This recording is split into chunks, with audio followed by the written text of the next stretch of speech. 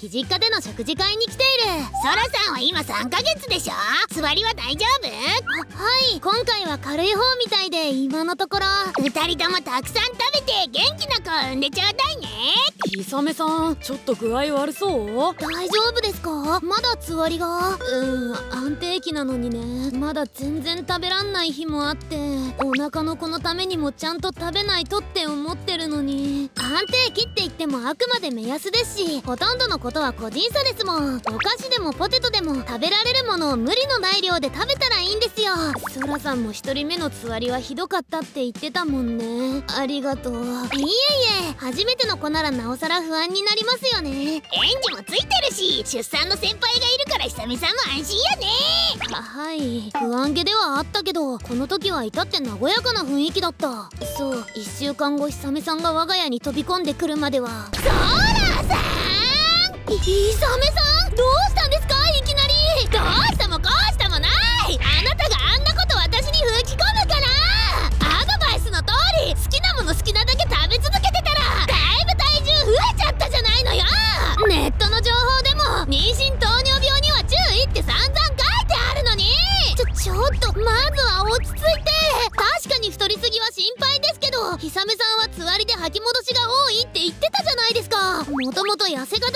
初期からも全然体重増えてなかったしお医者さんには相談して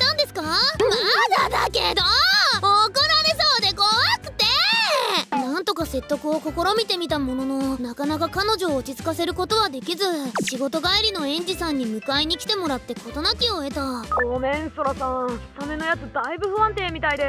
いえ妊娠中はどうしてもそうなりますよね。とはいえこれが続くとお互いストレスでお腹の子にも良くなさそう。王子にも事情を説明して落ち着くまで久美さんとは距離取った方がいいかもな。しかしその後もうわまた新着メッセージ数十件ほんと久美さんどうしちゃったの？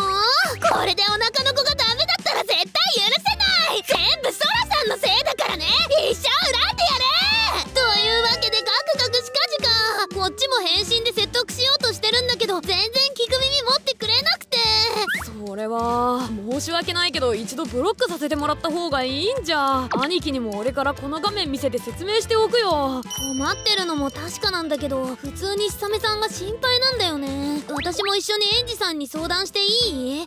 そうだね。兄貴最近だいぶ忙しいみたいだしビデオ通話しようか。うーん。マタニティブルーってやつだと思うんだけどな。俺の方では特にきっかけは思い当たらなくて。なるべく家事は俺がやるようにしてたんだけどどうしても今月は残業が多くてさ。心身が辛いにしてもちょっと極端な気がするんですよね。ずっとビクビクしてるっていうか。そうだな。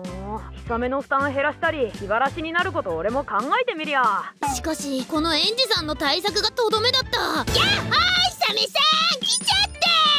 おお母さん家事は間に合ってるって。もう今更そんな気を使うことないんだからね。まだ具合良くないんでしょ？休める時はちゃんと休まないと。長男の孫のためならこんなの迷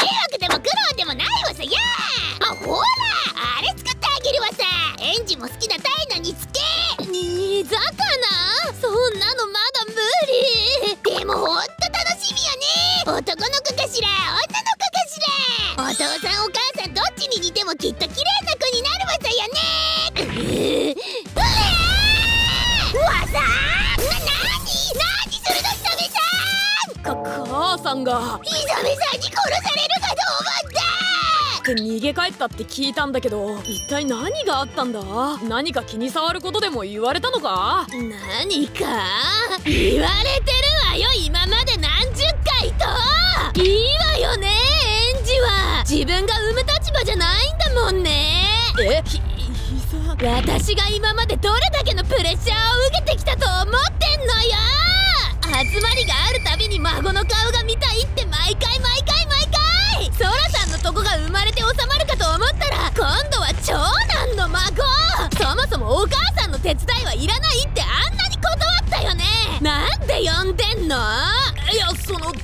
って。俺も仕事忙しくて手が回んないしヒサメも助かるかなって。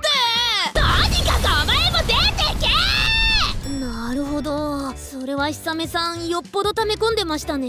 今の今まで気づけず夫として情けない限りなんだけども。それで実家で少し休んでもらおうとひさめの両親がお迎えに来たんだけどひさめのやつその2人にも物を投げつけて追い返そうとする始末で。なんとそりゃよっぽどだな。ひさめさんのご両親は彼女が落ち着くまでは数日こちらに滞在することにしたらしい。あなたひさめのあの態度。ああ多分間違いないだろうな。ひさめひょっとして誰にも言えない隠し事を抱えてるんじゃないの？とりあえずお母さんとソラさんに話してみなさい。怒らないから。な、なんでソラさんにまで？やっぱりそうなのね。あなた小さい頃から嘘つくの下手なんだから。ソラさんはねひさめにひどいこと散々言われたにもかかわらずこうして心配して連絡してきてくれたのよ。うん事実を知る権利はあると思うわ。実は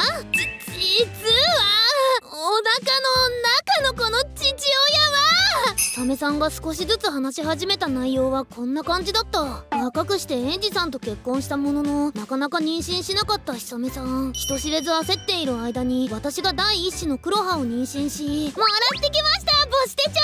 授かり物って言ったってなんで私と園児のところには来てくれないんだろう。ナイーブになっていたところに。あらあら順番が違っちゃったわさね。ひさめさん長男の嫁なのにね。本家はそらさんの子が継ぐのかしらね。お母さんの遠慮ないぼやきがクリティカルヒット。あの時は本当にどうかしててつい昔の元彼からの連絡に答えちゃったの。慰められるままに2週間くらい会っちゃってすぐ別れたけどその後妊娠が発覚して。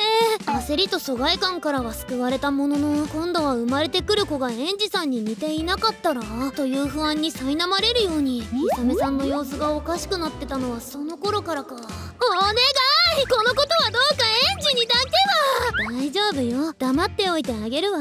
ひさめが不安定なままじゃ赤ちゃんにも良くないもの。なるほどな。まさかとは思ったが。今はとにかく落ち着かせないといけないしひさめと赤ちゃん最優先で後のことは生まれてから考えましょう。ご両親と私に真実を打ち明けたことで心の安定を取り戻したひさめさんはその後無事に男の子を出産。男のでもやっぱり。怖い。どうしても怖いの。この後成長して元彼の顔に似てしまったら園児が気づいたら無事に生まれたことをあんなに喜んでくれたのに。ひさめさん。だから私全部打ち明けることにしたの。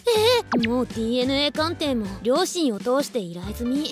私もしシングルマザーになってもこの子を守っていくつもりよ。ひさめさんひさめさんは生まれた子の顔を見て覚悟が決まったんだと言っていた。この子が俺と久めとの子じゃないかもしれない。離婚も慰謝料の請求ももちろん受けるわ。私の心が耐えられなかったのが悪かったの。いやそうじゃない。母さんの言葉で久めが傷ついてたのにも全然気づかなかった俺だって十分悪い。だからって不倫していいってわけでは当然ないけどさ。園児俺実はちょっと前に全部知ってたんだ。お母さんが久めとの約束破ったわけじゃないぞ。俺がソラさんとコウジから無理やり聞き出したんだ。誰も責めないでやってくれその上で俺も決心してたんだよ。これまで久めを不安から守れなかった分俺が必ず二人を幸せにするって。え園児お人よしすぎじゃない？バカみたい。俺なりにだいぶ葛藤してたんだぜこの数ヶ月。それに見ろよこの子の顔も髪も。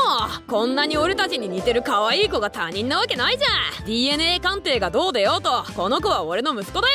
園児ごめんごめん俺も今まで一人にして本当にごめんな。会社に育休も申請したから退院後も二人で育児頑張ろう。園児さんの意向でお母さんたちには真実を隠したままとなったけれど。ひさめさん今までのことちゃんと謝りたくて孫の誕生が続くのが嬉しすぎてそのことしか頭になかったところあったわさね。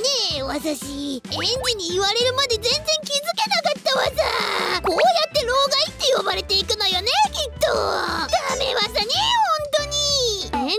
直訴でお母さんも自分の毒止めムーブに気づいてくれたしひとまず各家族に平和が訪れた。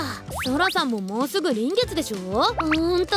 一人目が嘘みたいに順調ですよ。黒羽の時はつわりもだけど切迫とかやばくって。気は抜けないけど。私ソラさんにまだきちんと謝れてなかったなって。あの時はたくさんひどいこと言ってごめんなさい。えあいいですよそんな。